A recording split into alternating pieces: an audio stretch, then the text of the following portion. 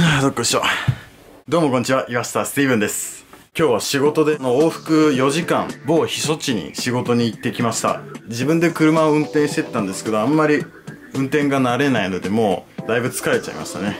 でも今日はね、9月13日、そう、あれの初上げです。もうこれをね、モチベーションに今日は頑張ってきたようなもんです。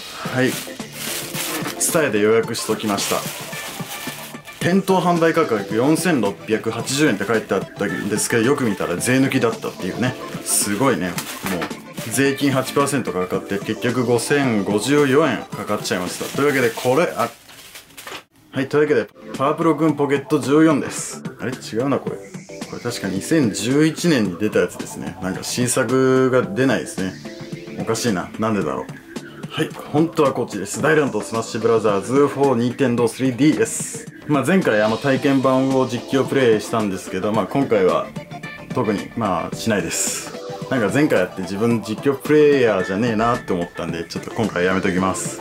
はい、それでね、今回はちょっとしたお知らせがもう一つ。だいぶ前にイラストリクエストをもらったんですけど、なん、割と1、2ヶ月前にもらったのにまだ完成してなくてすいません。で、お題はジョジョの歴代主人公っていうことだったんで、今、やっと第8部の東方丈介までのあの線画が終わりました。線画っていうのはあの色を塗る前の段階ですね。なので、そろそろあの色をつけられるので多分来週ぐらいには出せるんじゃないかなと思いますちなみに今回あの描いたのメイキング映像というか画面をねキャプチャーして録画しながら描いてるんでメイキング動画も出しますそちらもお楽しみにというわけで今回はねこのとりあえず今日はスマブラをほどほど楽しんでから絵の作業に移りたいと思いますちなみに遅れている理由がもう一つありましてあの実は雑誌に投稿するような漫画を描いているのでどちらかというと今そっちの方を集中してやってるのでまあ一応来週には出すつもりなんで